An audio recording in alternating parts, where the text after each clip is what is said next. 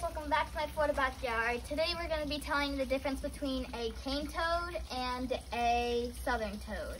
So the southern toad is, um, they are native to Florida. Um, you can see they only they only get to be three or four inches big. Um, you can see he has um some. Uh, keeps trying to jump away. Ah! You can see he has some. he's gonna hurting himself.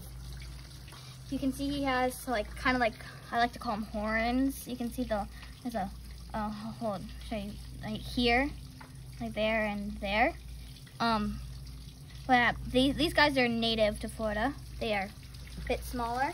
Um, but and then these guys, the cane toads, are um, these guys are in these guys are invasive. Um, they um you can see he doesn't have any horns and you can see he has poison glands here triangular uh, and here. Um, and he has you can see he's like bone like structure like around his eyes to his nostrils. Oh and one more thing about the southern toad.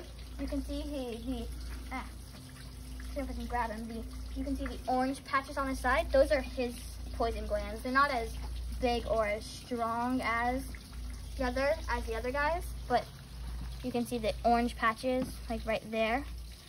You can those are his poison glands. His poison's not as powerful, but you can see the size difference. This guy's invasive. This guy's oh, he's native. This guy's native. But see you guys next time. Thank you guys. Oh, and don't forget to wash your hands. See you guys next time in, on my Florida backyard.